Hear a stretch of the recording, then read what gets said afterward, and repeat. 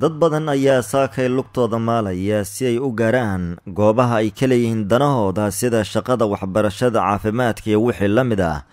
Kadib markii la xanibay waddooyinka soo gala gudaha caasimadda ee ka yimaada degmooyinka fogfog ee gobolka banaadir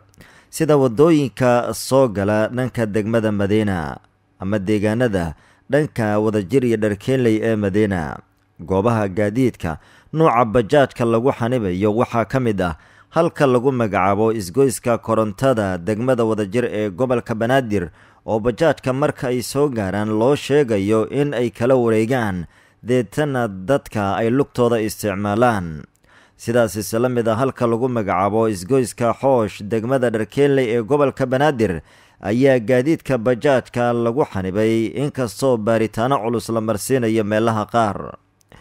isgoyska ex control afgooye ee magaalada muqdisho ayaa sidaas isla mid ah waxaa dhooban xilligan gaadiid fara badan oo kuwa bajaajka oo la kulmaya cadaadis iyo baaritaano ka duwan sidii hore.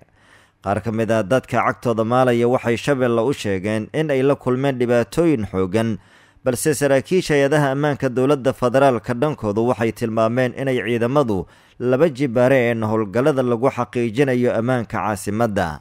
dhammaan cadaadiskan ayaa ka dambeeyey tan iyo markii weerar ay ku qaadeen ururka al-shabaab. Labadii bishan habeenkii jimcaha oo ay sabtida soo galaysay toddobaadkii hore dhammaadkii xeebta liida ee magaalada muqdisho halkaasi oo dad badan ay ku dhinteen dad kale oo soomaaliyeedna ay ku dhaawacmeen oo aan waxba galabsan.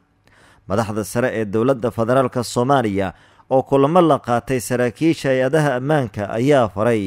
in la helo isla xisaabtan cad iyo mas'uuliyadda cidda fududaysa weerarka iyo sida ay wax u dhaceen. Waxaana weli soconaya baaritaano la xiriira sida uu falkaasi u dhacay.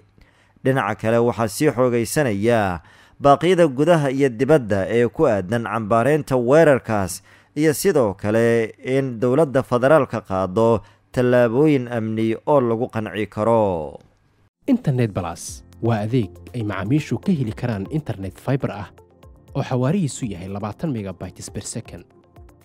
ayna la socdaan rasiifar ay ku jiraan in ka badan afar kun oo kanaal iyo boqolaal daqiiqado oo ah ku hadal bilaash ah